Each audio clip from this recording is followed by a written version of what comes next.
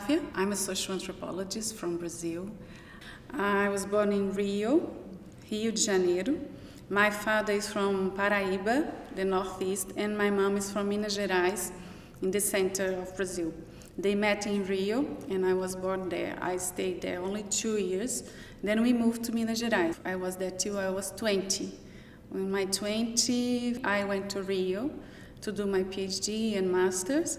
I did social science for my graduate studies, and then I did social anthropology and social anthropology again for my master's and PhD. I was always very shocked and very upset and very sad and and angry as well with inequalities, social inequalities. I come from Brazil. We have very rich, very few very rich people, and we have a large population that uh, is very poor. It's so unfair. It's it's unfair, and it's not right to live in a world where people have too much and other people don't have anything. I remember this was really something I wanted to do something about, and that really pushed my interests. So I went to social science. I think that has a connection why I chose social science.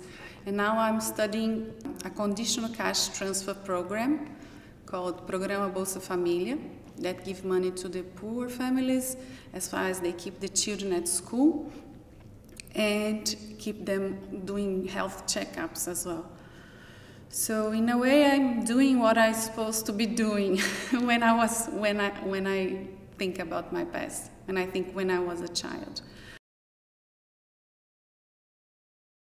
I'm a mother of two young children. Two, Serena is six years old now, and Olivia is three years old. They uh, they take a lot of my time. That's true. I take care of them alone because I'm divorced. I have been married, but now I'm divorced, and the father lives abroad. And he comes only to visit, so day to day, uh, everyday tasks are with me, which is, which is not always, it's always, it's always a challenge to tell the truth. To become a mother was the, the the most important thing that happened in my life. The, nothing could be harder. Nothing I have, have ever done before, and I thought I have done a lot before them, was very hard. Personally, it was very hard. I suffer with sleep deprivation, and I really understood why sleep deprivation was a torture way of torturing people because for for at least one year, I was not sleeping. I was not sleeping uh, more than two or one hour. So it was really hard. And together with my children came the divorce. So it was quite hard in that sense and I had to take care of them alone. And, uh, I had to work, go back to work, and I didn't have my parents or my family because I live in the northeast. I live in João Pessoa, so I don't have a, I didn't have a, uh, this net of support. So I had to build that, and I think that is crucial. A net of support for for women doesn't matter what social class we are talking about. To have children, you have to have support. Women cannot have to take care of a child is not a women's whole, it's the whole of, uh, of more people. More people have to get involved. Ideally, I don't know, our, in, in our societies, we think the ideal is the father and the mother, a man and a, and a woman, but not, not necessarily. I think there are other ways to, to raise a happy child and to raise, raise a happy generation. And for, for example, with the role of the grandparents and the grandmother and the grandfather, and that is something that made a huge difference in my life. When my parents were with me, they came to help me when I, when I was struggling more, when I was really struggling, when Olivia was very small. They came to live with me for a while. So it was really important. I don't think I would have survived without them. And then now I have, uh, I have paid help and they go to school, but in Brazil, school is only four hours. They only go for four hours at school. I was supposed to work eight hours per day, but I became much more efficient. I use my time in more smarter way. When I'm with them, I'm only with them. When I'm work, I'm only at work. So the impact, the impact of them it was tremendous in my life. They changed my life completely because they change also the way I perceive my job, the way I I put things in perspective, the way I value things, the way I what I see as important. So, for example, I had children. Oh, I have children. I had the students. Yeah, they are my children as well. there I have students that were pregnant. We have to forget about the research. We have to think about the person now. You have to, to, to see the student beyond the student, right? You have to see the person. We produce uh, a book. is an initiative from the Women Working Group here in the GYA that comes as an answer to a gap that we saw that was the need to talk about motherhood. That's the title, Motherhood in Science, How Children Change Our Careers. So that was the call, that was the what we asked them to write about. And what was interesting for me that came up was these two ideas. First, that in the long term, uh, we don't face a fall in productivity, and that children, instead of being a barrier, in our case at least, children brought luck. And I think maybe we have a biased sample because we are all successful women in science. So we, most of us, didn't face the problem that the majority of working women face when they become mothers. And secondly, is the need of support. All the accounts that are successful, I'd say, are accounts where you had a network of support. There, uh, especially with fathers. In the book, we see that.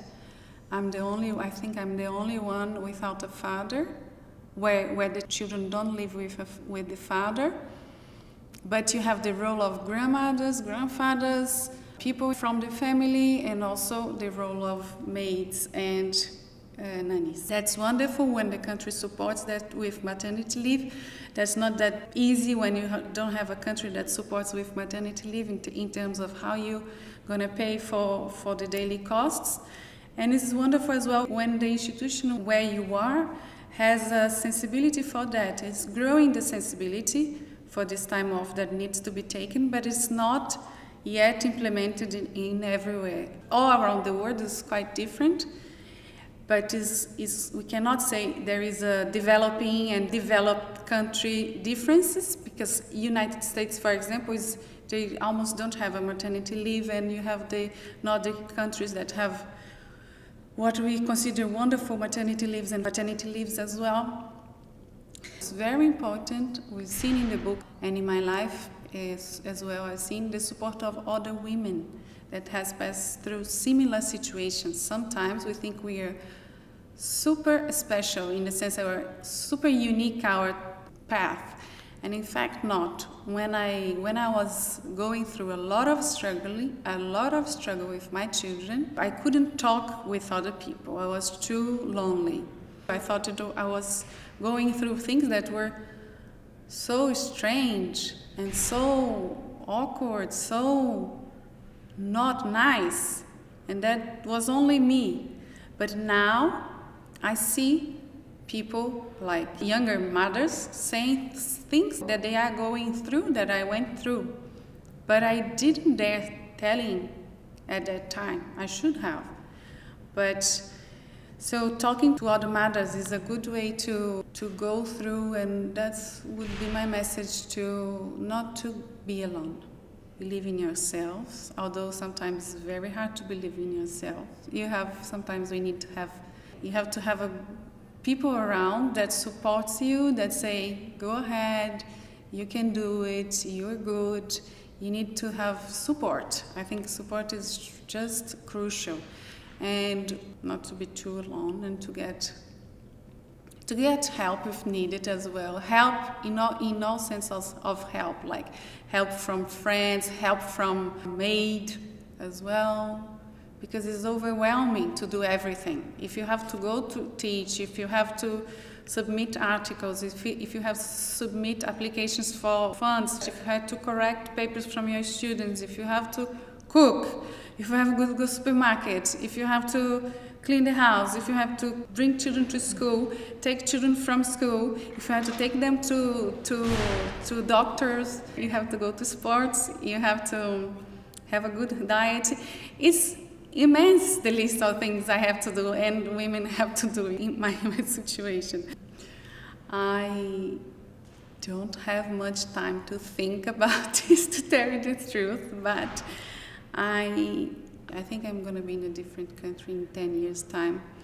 I'm not sure. I hope I have, I, my research becomes more feasible in the terms of more applicable. I hope my research reach more people and I is able to concretely to impact society.